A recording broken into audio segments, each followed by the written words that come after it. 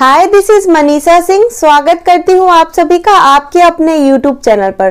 Friends I hope आप सब बहुत अच्छे होंगे और एग्ज़ाम की प्रिपरेशन बहुत अच्छे से चल रही होगी। तो हाजिर हूँ आप सभी के बीच एक और खुशखबरी लेके जो कि डायरेक्ट निकल के आ रही है।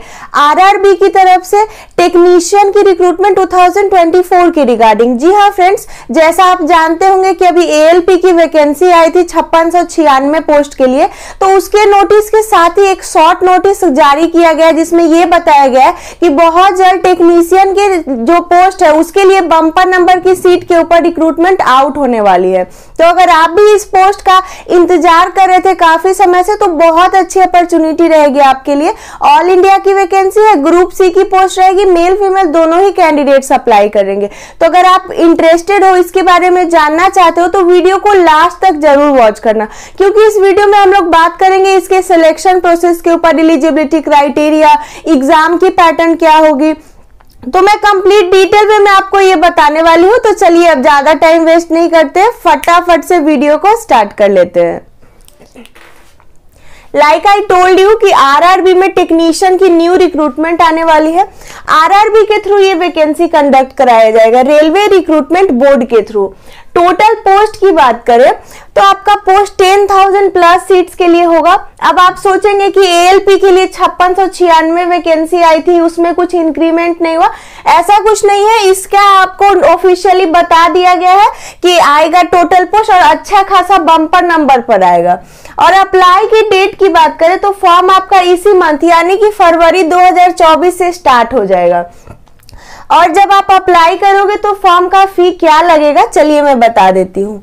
जनरल ओबीसी ईडब्ल्यू से लिया जाएगा फाइव हंड्रेड रुपीज़ वहीं पर अगर S C S T physically handicap person या फीमेल कैंडिडेट है, उनसे टू फिफ्टी रुपीज़ लिया जाएगा। और हाँ फ्रेंड्स ये जो आपका जो फ़ी होता है ना, वो रिफंडेबल होता है। जैसा यहाँ पर देख सकते हो जनरल ओबीसी डब्ल्यू से जो पाँच सौ रुपया लिया जाएगा, उसमें से आपको चार सौ रुपया आफ्टर एग्ज़ाम वापस कर दिया जाएगा। ऐसा नहीं है कि आप एग्ज़ाम में नहीं बैठोगे और आपका पैसा आ जाएगा। आप एग्ज़ाम में अगर बैठोगे पास हुए फेल हुए डजेंट मैटर चार सौ रुपया आपका वापस आ जाएगा। एस सी फिजिकली हैंडीकैप्ट और फीमेल का जो ढाई सौ है, ये टोटली आपका रिफंड हो जाएगा। ढाई सौ का ढाई सौ आफ्टर एग्ज़ाम आपके अकाउंट में वापस आ जाएँगे। चलिए देख लेते हैं कि एज की क्या लिमिट रहेगी। पहले जान लेते हैं किस डेट से कैलकुलेट होगा। So your age will be calculated as on first July 2024 मतलब 1 जुलाई 2024 के अनुसार मिनिमम 18 वर्ष और मैक्सिमम 30 वर्ष आपका एज रहेगा।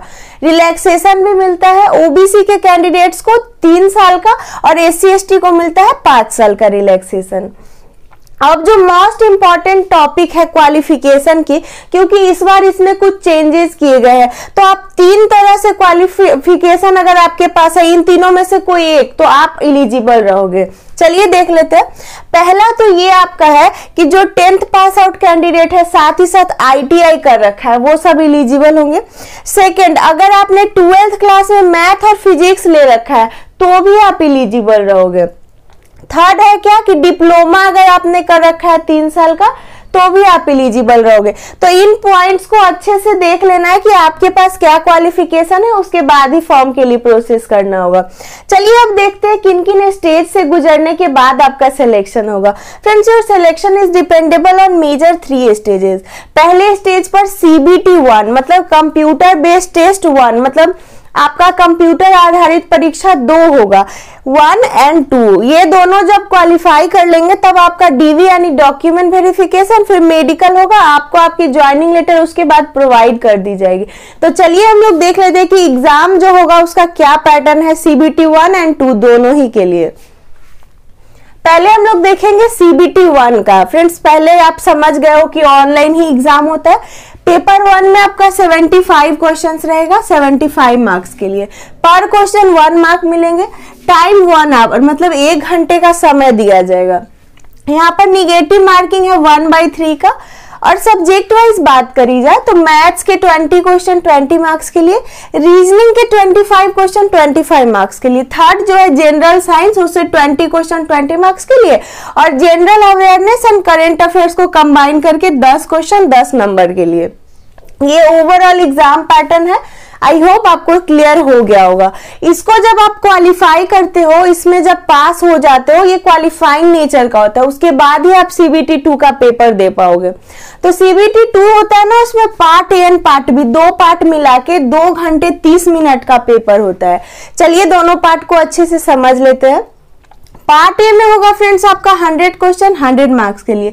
100 प्रयास में 100 नंबर के लिए मतलब हर क्वेश्चन के लिए एक नंबर दिया जाएगा। टाइम विल बी 90 मिनट मतलब डेढ़ घंटे का पार्ट ए होगा। Negative marking one by three करेगा।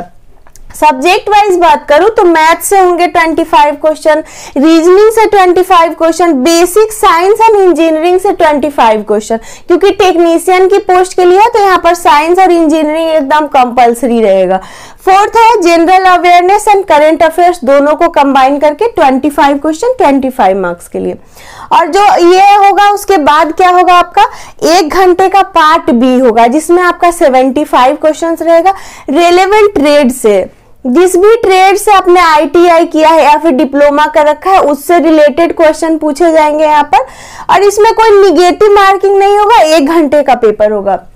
फिर जब इसको आप क्वालिफाई करोगे, तब आपको आपकी ज्वाइनिंग लेटर दे दी जाएगी। और रही बात की एग्ज़ाम कहाँ पर होगा एग्ज़ाम सेंटर कहाँ रहेगा तो आप फॉर्म अप्लाई करोगे ना, उस टाइम आपको सेंटर चूज़ करना होगा। ज़्यादा दूर नहीं, जिस रीजन के लिए आप अप्लाई करोगे, उस रीजन में आपका सेंटर देगा और नियर बाय सिटी ही रहेगा। और जॉब लोकेशन की बात रही तो ऑल ओवर इंडिया के लिए आपकी रहेगी। और उसमें भी आप जिस रीजन का आप सेलेक्ट करोगे फॉर्म अप्लाई करते टाइम उसी रीजन में आपका यहाँ पर पोस्टिंग होगा।